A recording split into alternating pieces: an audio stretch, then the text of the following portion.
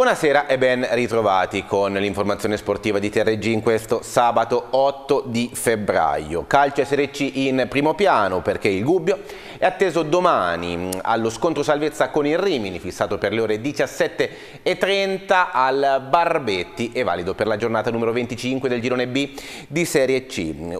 sono 11 punti che dividono le due squadre, 25 per il Gubbio appena fuori dalla zona playout, 16 per il Rimini, ultimo da solo in graduatoria. Torrente perde Maini che eh, rimarrà ai box per eh, almeno un mese a causa di una lesione al pube e conferma in gran parte il 3-5-2 che nelle ultime quattro partite ha, ha recato in dote 10 punti. Davanti a Ravaglia spazia con Ate, Coda e Bacchetti, centrocampo da destra a sinistra con Cinaia, il rientrante Lacti dalla squalifica, Meghelaitis, Malaccari e Filippini, in attacco il tandem formato da Tavernelli e Juanito Gomez. Alternative in difesa, all'assenza di Maini e lo scivolamento di Cinaglia nel terzetto arretrato al posto di Conate e l'inserimento di Mugnoz sulla corsia destra. Nel Rimini invece il tecnico Colella dovrebbe optare per il 4-3-1-2 con Letizia a supporto di Carlotti e Gerardi. Squalificato Palma, ai box i vari Ferrani, Agnello e Candido, a cui si è aggiunto l'ex Mendicino, mentre l'altro ex Paramatti può trovare posto in difesa. Arbitro di Gubbio Rimini sarà Antonino Costanza di Agrigento. Potrete seguire il match domani dalle 17.25 su RGM Radio alla frequenza 93.8, sul canale 604 del digitale terrestre sullo streaming dal nostro sito www.trgmedia.it.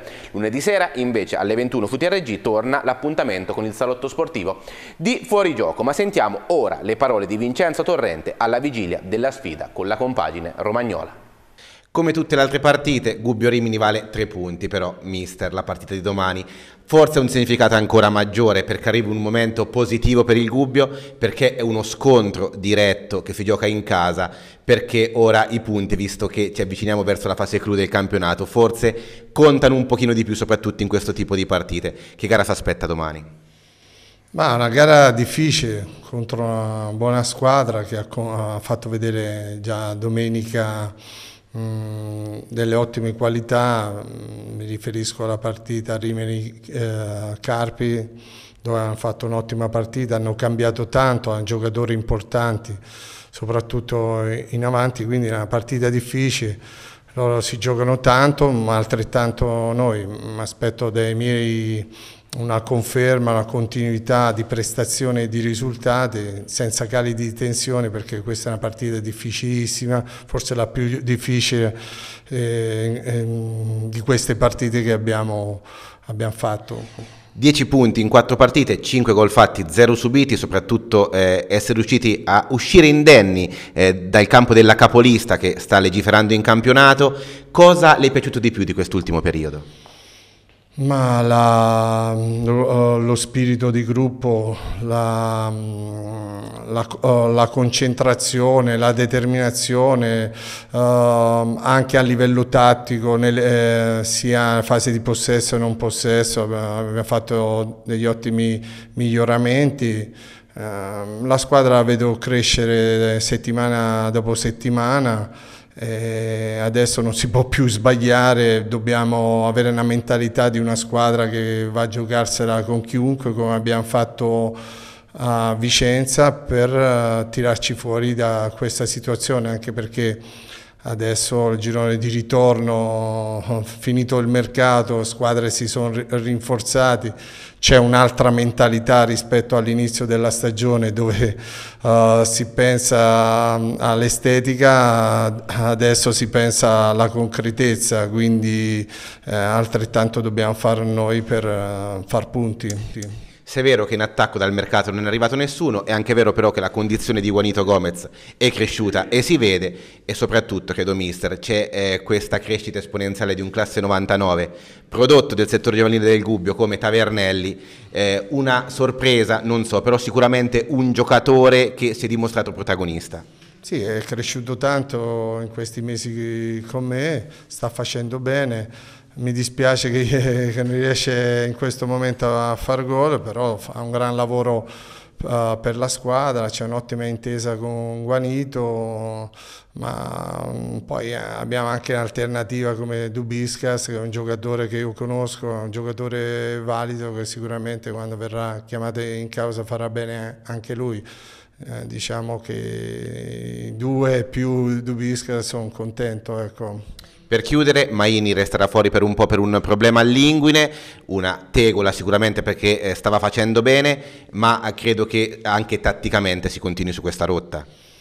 Sì, anche perché le cose eh, vanno bene e perché eh, questo penso sia il vestito giusto per, per questa squadra.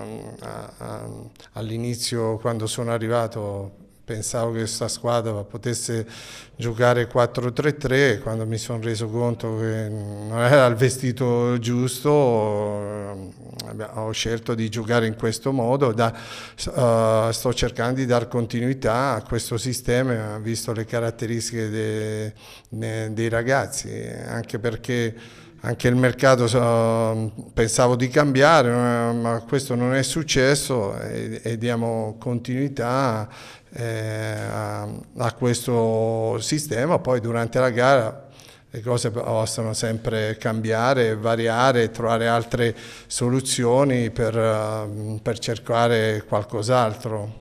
E scendiamo ora in Serie D perché nel turno numero 23 il Foligno è atteso all'Eporaia per sfidare il fanalino di coda tutto cuoio. Trasferta toscana anche per il Trestina a domicilio del Ponzacco. Il Bastia attende al degli esposti il Grosseto. Duello casalingo anche per il Cannara che ospita allo Spoletini il Grassina. In eccellenza invece per il turno numero 21 sta di playoff anticipati la sfida fra Nestore e San Sepolcro, mentre il Lama prova a fare lo sgambetto alla Narnese capolista. Ponte Valle Ceppi riceve la Ducato mentre cercano riscatto nelle zone basse sia l'Angelana che avrà dinanzi uno scontro salvezza da non fallire con l'Ellera ultimo in classifica che il Gualdo Casacastalda atteso a Castel del Piano. Ventunesimo turno in arrivo anche in promozione. Nel girone A il Branca capolista ospita domani alle 14.30 al Santa Barbara Marra San Feliciano. Per l'inseguitrice principale Ventinella c'è la gara interna con la Pietralunghese ultima mentre FC Castello attende Casa del Diavolo. Pontevecchio riceve Selcinardi, per la Tiberis Macchie c'è il Piccione mentre il Montone cerca il blitz sul terreno del San Marco Juventina. Nel girone B il Massa Martana primo della classe cerca ulteriori tre punti a Montefranco, per la Criturno c'è la Merina e il San Venanza impegnata ad Acqua Sparta al cospetto dell'MC98. Per la Visfoligno c'è la trasferta a Ternana con Romeo Menti, derby tra Giulia Spello Petrignano, Viole a Campitello e Atletic Bastia che riceve Olimpia Tyrus. Ed ora passiamo al volley perché torna tra le mura amiche del Palabarton Sirzafe Ticonad Perugia. Dopo il blitz esterno in presettimanale a Vibo Valentia, i Block Devils affrontano domani la Gas Sales Piacenza, incontro valido per la settima di ritorno di Superlega. Fischio d'inizio alle ore 18 con i bianconeri del presidente Sirci che giocano per trovare la loro quattordicesima vittoria consecutiva in campionato e mantenere la prima posizione in classifica in coabitazione con Civitanova agganciata proprio mercoledì.